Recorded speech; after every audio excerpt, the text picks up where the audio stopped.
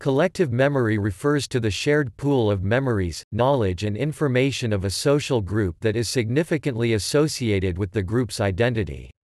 The English phrase collective memory and the equivalent French phrase la mémoire collective appeared in the second half of the 19th century.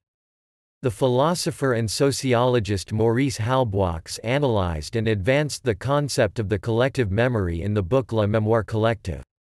Collective memory can be constructed, shared, and passed on by large and small social groups.